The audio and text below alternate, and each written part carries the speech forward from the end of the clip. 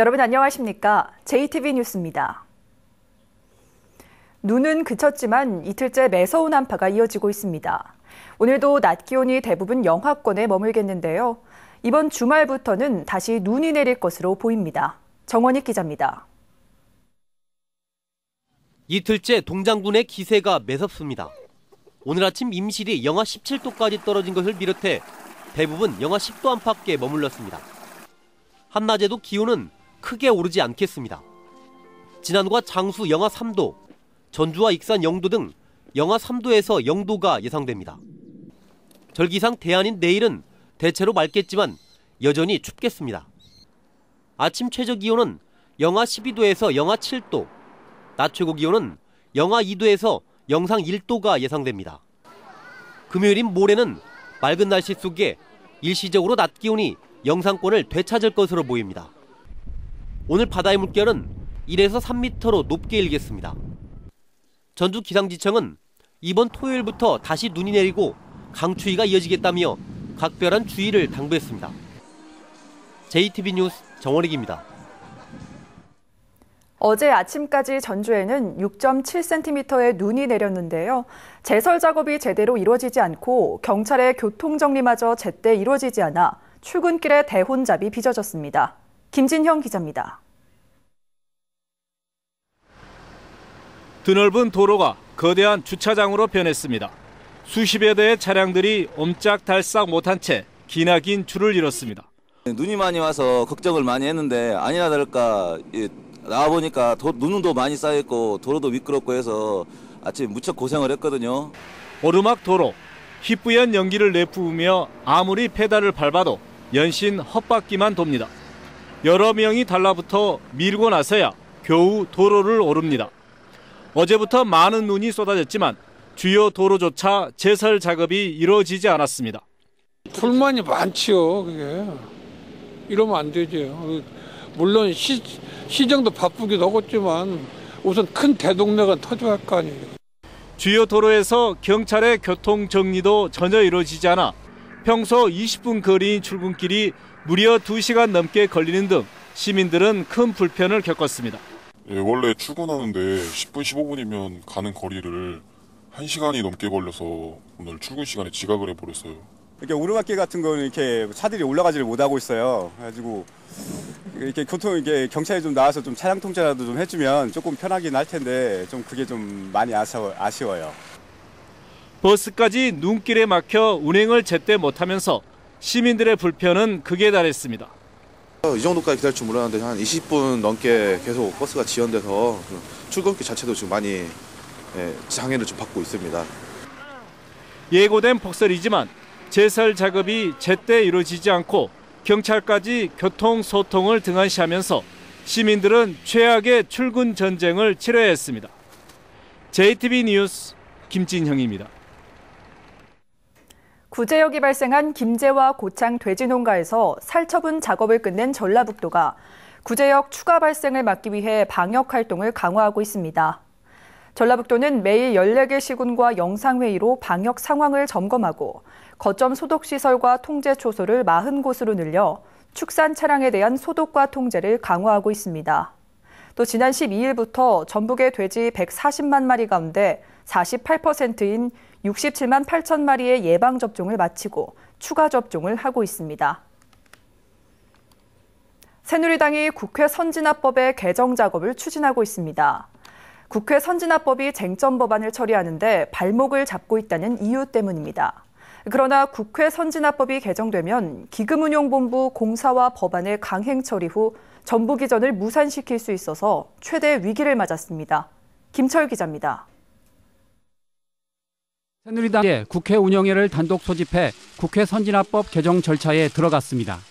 국회 선진화법이 경제 활성화 법안과 노동개혁법 같은 쟁점 법안을 처리하는데 발목을 잡고 있다는 이유 때문입니다. 정의와 국회의장은 여당의 직권 상정 요청에 부정적인 입장을 보이고 있습니다. 잘못된 법을 고치는 데 있어서 또 다른 잘못을 저지르서는 안 됩니다.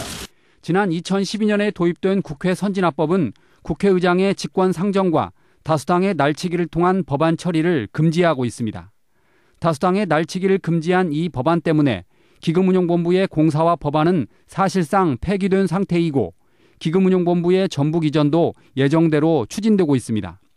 그러나 새누리당의 밀어붙이기로 국회 선진화법이 개정될 경우 상황이 달라집니다.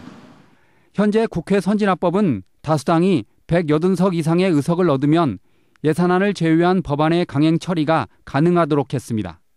현재 새누리당은 155석이라 기금운용본부의 공사화를 단독으로 처리할 수 없습니다. 하지만 국회 선진화법을 바꿔 강행 처리 기준을 150석으로 낮추면 기금운용본부의 공사화가 가능해지고 본사의 전북 이전도 장담하기 힘들게 됩니다.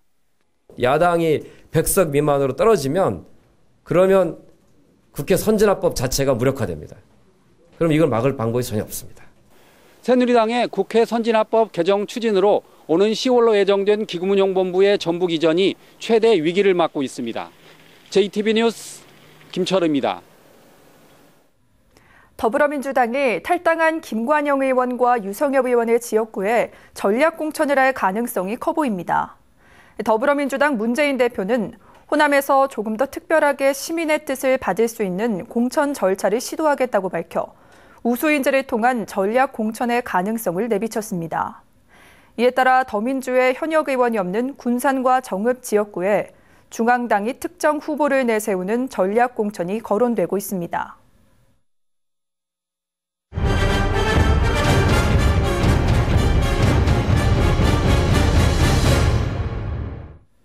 농촌 어르신의 일자리를 만들겠다며 시작한 양계장 신축 사업이 주민 반발에 부딪혀 진통을 겪고 있습니다.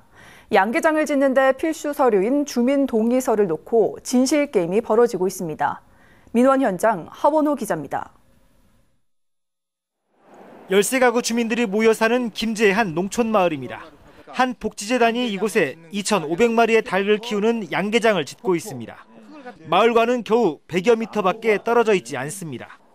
가축 사육 제한 조례에 따라 가축 사육 시설을 지을 수 없는 곳이지만 주민 동의를 받아 건축 허가를 받았습니다. 주민들은 마을과 1km 이상 떨어진 곳에 양계장을 짓는다고 해서 동의를 해줬는데 나중에 위치를 바꿨다며 양계장 신축을 반대하고 있습니다. 위치 변경을 해가지고 공사를 하니까 완전히 속은 것이죠 그냥. 애당초 예, 앞에다 한다 했으면 절대 도장을 안 찍어주들 않았지. 복지재단은 그러나 여러 차례 주민 설명회를 가졌고 동의서를 받을 때도 주민을 속인 사실이 없다고 주장했습니다. 또 노인 일자리 창출을 위해 사회복지 공동모금회의 기금을 받아 짓는 시설이라며 주민들의 협조를 요청했습니다.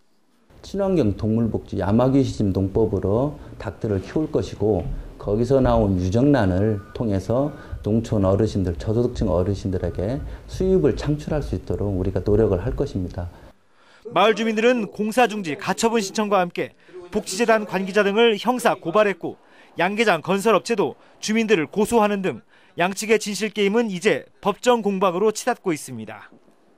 JTB 뉴스 하원호입니다. 전라북도가 올해 귀농귀촌 사업에 112억 원을 투자해 8천 명 이상의 귀농 귀촌인을 유치하기로 했습니다. 분야별로는 농업 창업 지원센터에 40억 원을 지원하고 가족 실습 농장 조성에 23억 원, 도시민 농촌 유치 활동에 17억 원 등을 지원하기로 했습니다. 귀농 귀촌 인구는 지난 2012년 4천 명에서 2014년 7,600명으로 해마다 크게 늘고 있습니다.